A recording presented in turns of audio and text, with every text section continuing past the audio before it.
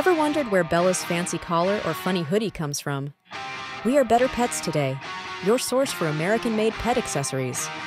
Safe, durable, and stylish, perfect for your pet's everyday adventures.